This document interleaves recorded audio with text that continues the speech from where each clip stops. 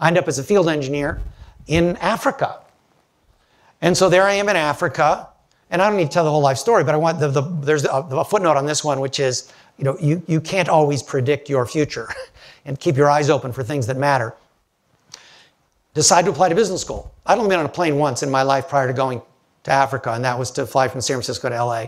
So here I am in Africa. I apply to business school. I get accepted, lo and behold, at Harvard Business School. Unbelievable. I wasn't sure where Harvard was. I was sure it wasn't in California. That was all I was sure about. And I, I learned later uh, how I, uh, you know, why I got accepted. They, they, you know, I was the only application that year from Algeria. And they sent me the, there's this test, I don't know if uh, uh, foreign students, there's this test, this TOEFL test for non-English speaking students. So you have to, it's English. I aced it. I aced the puppy. and so there I am. I'm going from Oran, Algeria to Cambridge. And, and, and you know, Oran, I understood construction. I understood blue collar stuff. I was very, very comfortable swearing.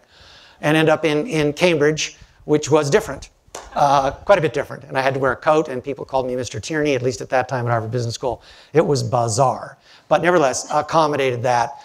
And, and there are some, are some messages there because I remembered my roots. I remembered, I remembered my roots. Uh, my dad was, was a working class man, and, and he had an ideal of how to live, a life. And I don't think he ever would have quoted these words, but this, this was a theme.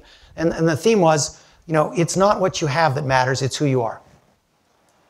And who you are is a function of what you do, not what you say. Your life is a life of action. Your life will be defined by what you do at the end of your days. It won't be defined by, gosh, I wish I woulda, shoulda, coulda.